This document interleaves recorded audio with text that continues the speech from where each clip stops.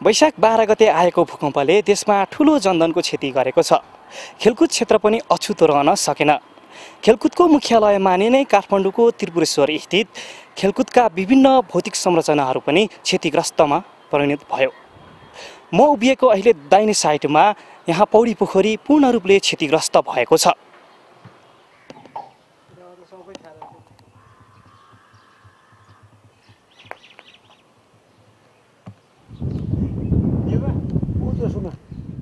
त्यसै गरी मेरो देब्रे साइडमा यहाँ लन टेनिस कोर्टमा पनि आंशिक रूपमा क्षति पुगेको छ।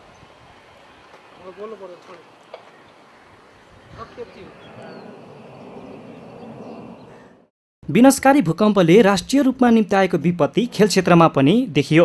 त्रिपुरेश्वरमा रहेको राष्ट्रिय खेलकुद परिषदको संरचनामा ठुलो क्षति पुगेको छ।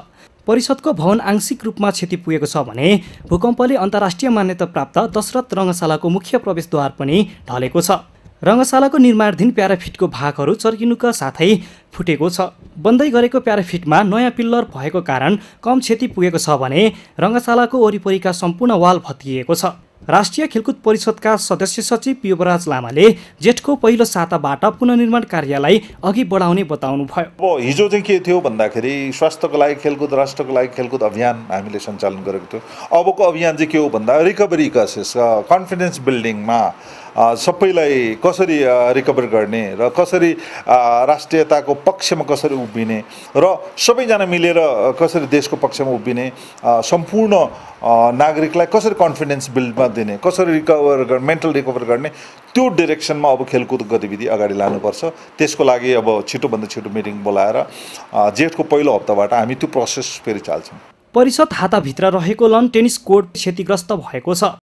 यस्तै कबड हल र मिनी कबड हलमा सामान्य क्षति पुगेको छ भने पौडी पोखरी भग्नावशेषमा परिणत भएको छ।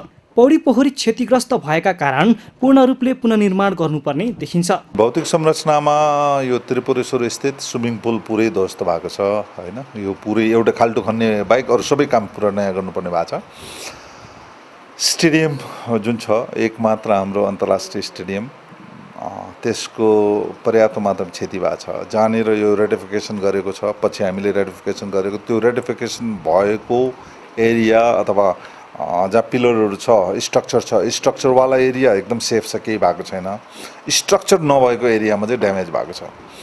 अनि वालहरू खसेको छ परस प्रशस्त वालहरू खसेको छ। अनि अफिस मेन अफिस बिल्डिङ र कबड हलमा ड्यामेज भएको छ।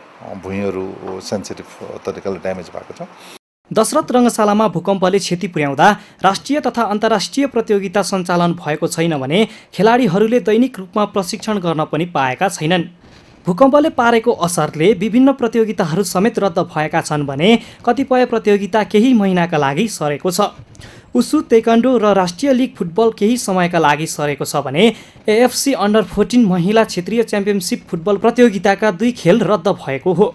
अहिले खेलकुदका प्रशासनिक कार्यहरू दैनिक हुँदै आए पनि भौतिक संरचना पुनर्निर्माण नभएसम्म खेलकुदका गतिविधिहरू सञ्चालन हुने अवस्था छैन।